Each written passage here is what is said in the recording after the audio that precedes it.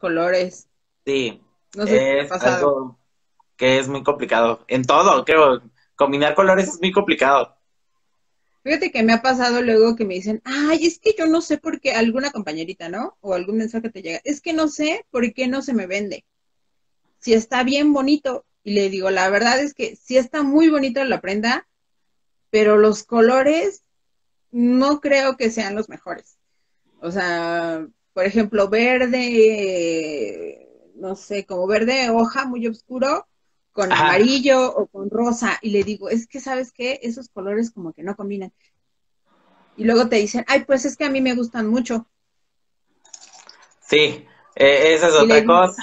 bueno, si es para ti, si tú te lo vas a poner, está perfecto.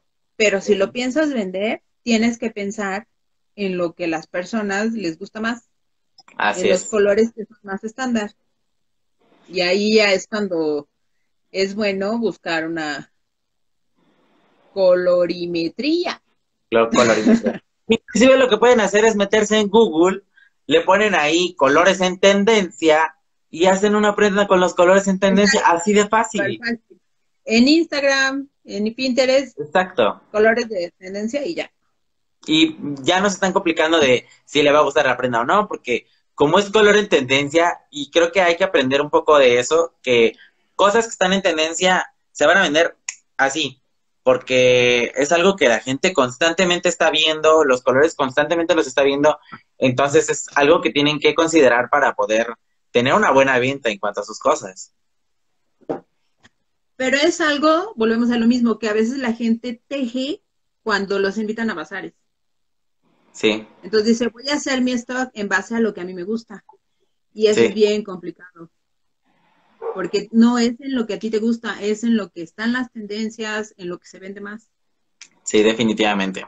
Yo creo que lo, creo que la forma más fácil, si en dado caso quiere ir alguien a lo que es un bazar, es como de que eh, tendrías que ya tener como unos mínimo unos tres años de experiencia para ya hacer como algo más generalizado para que la gente ya le guste, ese- o sea, lleves cosas que por lo regular a la gente le guste o la gente te compre y que ya tengas como la, la experiencia tal vez.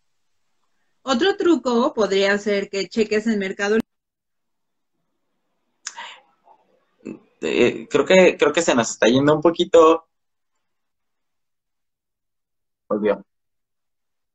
Este, otro Ah, truco ok, que... yo pensé que era el internet. No, fui yo.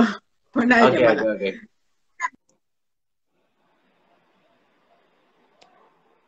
Ay, creo que otra vez le llamaron a la compañera. Sí. Otro truco es que busques en Mercado Libre o en Amazon los productos que más se venden, que son tejidos. Y entonces ya en base a eso puedes este, hacer como que tu stock para algún bazar o demás, pero en productos que eh,